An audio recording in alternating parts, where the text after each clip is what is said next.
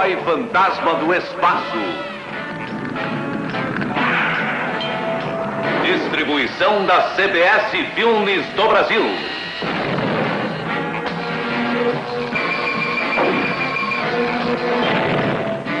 Versão brasileira AIC São Paulo.